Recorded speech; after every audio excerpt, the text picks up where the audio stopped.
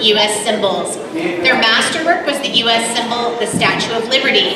In their work with Jenny Hunt of Opus Ed, Mr. Peck's class has explored the idea of perspective and point of view and how emotion can be expressed in music.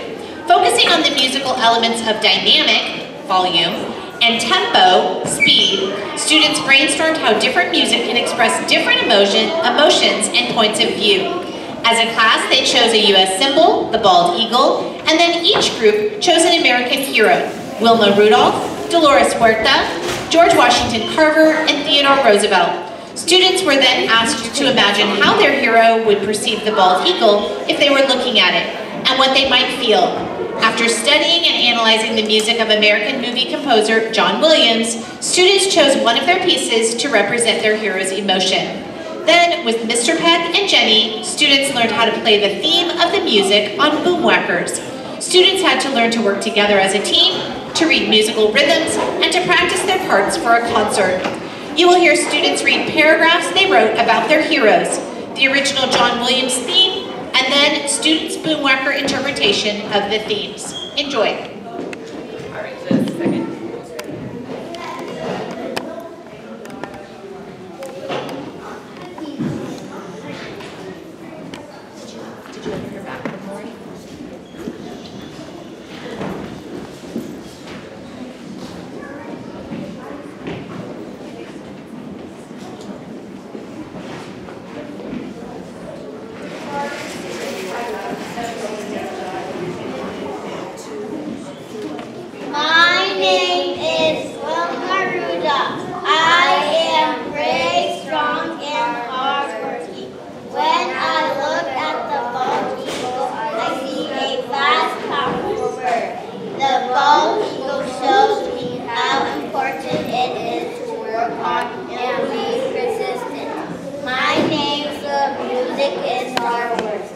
Ada.